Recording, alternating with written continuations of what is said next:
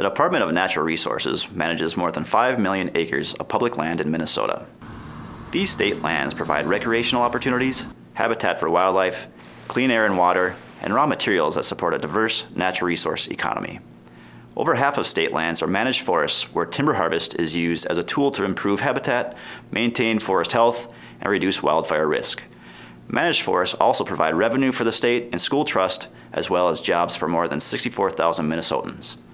For about the last 10 years, the DNR has offered for sale around 800,000 cords of timber each year. This harvest level is supported by internal strategic planning efforts and implementing sound natural resource principles. Because state, private, county, and federal forests are dynamic and always changing, the DNR has been asked to perform an analysis to assess the long-term sustainability of increasing harvest to 1 million cords each year from state forest lands.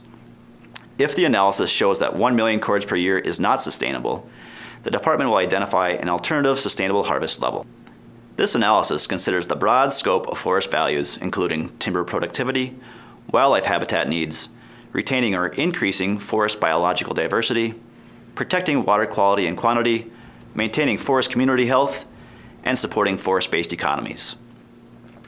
To complete this task, a project team was identified, including representatives from the DNR divisions of forestry, fish and wildlife, and ecological and water resources. A stakeholder advisory group was convened and meets regularly with the project team. They ensure a broad range of public and private interests are represented in the analysis. The advisory group includes representation from conservation organizations, timber industry, academia, tribal resource managers, and county and federal land management organizations. The DNR sought proposals and selected a private contractor, Mason Bruce and Girard, to provide an objective analysis. They bring an experienced team that has completed this type of analysis for several public and private interests. Let's take a moment to meet Mark Rasmussen of Mason Bruce and Girard. He'll explain how they approach the analysis and what the strategic planning effort tells us about timber harvest on state forest lands. Hi, I'm Mark Rasmussen. I'm a principal at Mason Bruce and Girard. We're a natural resource consulting firm headquartered in Portland, Oregon. We have foresters and biologists and hydrologists and spatial scientists and so forth. I work in the forest planning group and we help uh, land managers prepare forest plans uh, across the country. We work for federal, state, private, and tribal land managers. For this project, DNR asked us to help them with an assessment of the forest land managed by the DNR. For this assessment, we built a forest management model where we got data from the DNR about the uh, resource and the yields and the future conditions under different management scenarios. We build a model that uh, builds scenarios based on different objectives and different uh, constraints placed on the model. For example, we, we have one scenario where we ask what's the maximum sustainable level of harvest from these lands. We have an, another scenario where we're asking how close can we get to a certain set of goals for native plant communities or a diversity index or things of that nature. And for each of those, we want to know about the forest conditions and we want to know about the timber harvest outputs over a long period of time. With this model, we can develop different scenarios that show how the forest might be managed if you were to emphasize one resource over another and what the consequences and long-term conditions are of the forest. For example, we, we have a scenario where we're maximizing the sustainable level of timber harvest over the long term and we can then see what the impact of that is on different outputs. We can also set up the model to uh, get as close to a set of native plant community goals as it can and understand what the timber harvest levels are associated with that. We have another alternative, for example, that where we're uh, maximizing the uh, biodiversity across the forest, and, and we want to understand what the timber harvest levels are with that, are with that, and also what the impact of that is on native plant community goals, for example.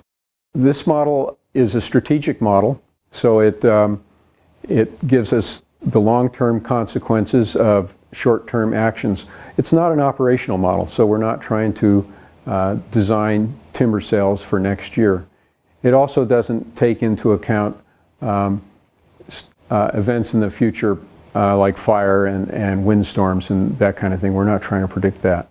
This allows us to give DNR a, um, an idea about the range of opportunities that are available from this, uh, from this land.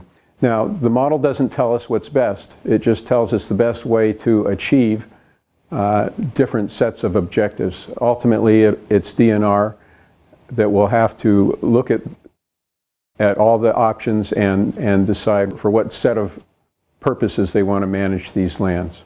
The results of this project will show that there's a lot of flexibility and DNR uh, has a wide range of choices available to them as they make final decisions about how to manage these forests going forward into the future. As you can see, a great deal of work is being done to ensure the future health of Minnesota's state managed forest lands. The information from this analysis is in discussion with Commissioner Landwehr and his staff. Before a decision on the harvest level from state administered forest lands is made, we would like to hear from you. Please find the analysis posted on the Sustainable Timber Harvest Analysis webpage. We would like your feedback on the approach. Were our assumptions reasonable? Are any results unreliable in your estimation? The report. Is it understandable? Is there anything presented in a way that is unclear? Was the analysis missing anything major? We had to make decisions along the way to create a functioning forest model and meet deadlines, but we tried to be as inclusive as possible. Public comments will be taken through December 30th. You can participate through an online questionnaire. The project team will review all comments and incorporate them as appropriate into a final analysis. Based on the analysis and team recommendations, Commissioner Landwehr will deliver his decision to Governor Dayton by March 1st. Thank you for your time and sharing our commitment to healthy, sustainable forests in Minnesota.